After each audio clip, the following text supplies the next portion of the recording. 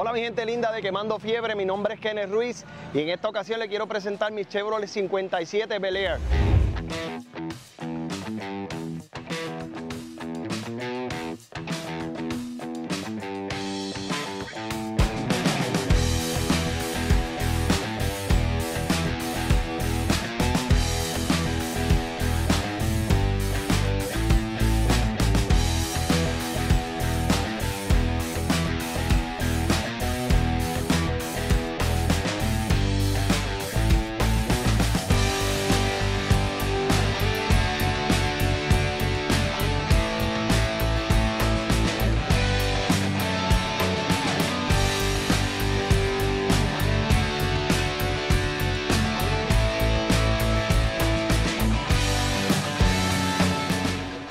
Este vehículo lo, lo adquirí hace aproximadamente un mes.